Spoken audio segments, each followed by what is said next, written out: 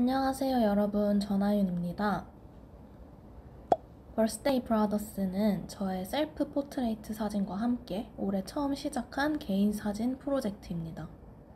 단어 그대로 생일이 같은 형제들이라는 의미인데요. 이 프로젝트를 위한 피사체를 구하고 있습니다. 저랑 생일이 같으신 분들, 1월 27일에 태어난 분들을 찾고 있어요. 뛰어나게 포토제닉할 필요도 외향적인 성격일 필요도 없습니다. 저와 생일이 같다면 환영합니다.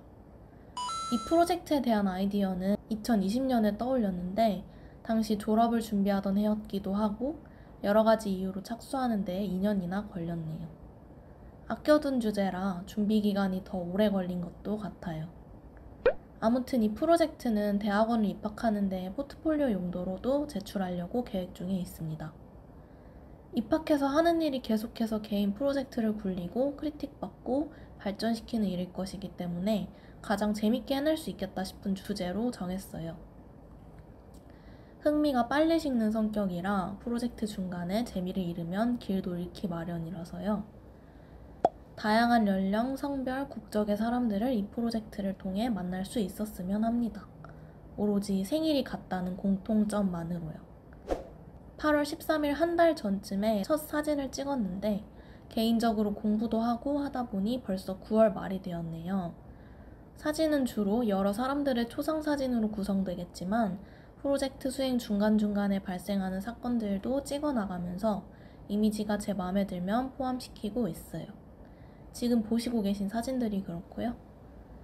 피사체가 되어 주실 생각이 있으신 분들을 위해 간략하게 설명드리자면 저와 시간 약속을 잡고 초상사진 촬영을 진행할 거예요. 장소 같은 경우에는 미리 받은 인터뷰 답변을 기반으로 각각 성격에 맞는 장소를 섭외해서 제가 연락을 드리려고 합니다. 그래서 미리 간단한 질문 5개를 온라인으로 보내드릴 건데요. 질문은 다음과 같아요. 이러한 질문들을 바탕으로 다양한 사진을 찍으려고 하고 있어요. 답변하는데 도움이 될까 싶어 제 경우에 대입해서 답변도 해놨습니다. 형식과 틀을 정해놓지 않고 상황에 맞춰 뜻밖의 즐거움이 들어간 이미지를 만들려고 노력하고 있어요. 그래서 여러분들의 도움이 많이 필요합니다.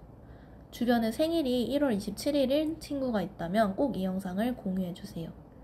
사진 찍는 대로 앞으로의 프로젝트 과정도 종종 아카이빙해서 돌아올게요. 안녕.